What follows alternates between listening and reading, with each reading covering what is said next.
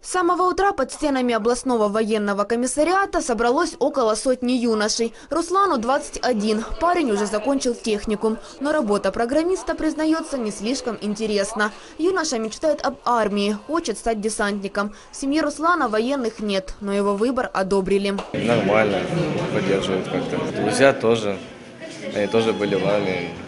Сейчас призывники проходят медкомиссию. Врачи констатируют, желающих пополнить ряды вооруженных сил все больше. Только медицинским нормам современные юноши все реже соответствуют. За последние 10 лет общее состояние здоровья парней ухудшилось, в значительной мере из-за вредных привычек. Молодые люди курят. Бывает и такое, что приходят на осмотр под кайфом, уверяют медики.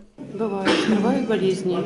Скрывают те болезни, которыми они знают, они между собой делятся друг с другом.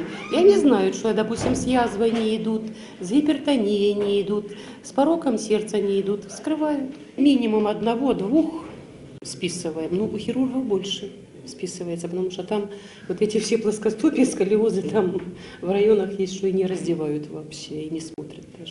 Призывников в городе и области этой осенью больше 10 тысяч. Половина из них поступили в вузы и получили отсрочку. Из остальных армейские ряды пополнят только 800 человек. Это меньше, чем обычно. Зменшення призиву зв'язано пов'язано з е, скороченням збройних сил на сьогодні. Ми поступово йдемо е, на перехід до контрактної е, армії, коли буде комплектуватися стільки за контрактом. У нас зміни- змінились пропорції призову. Зараз до збройних сил призиваємо із загальної кількості 65%, а 35% йдуть в інші силові структури.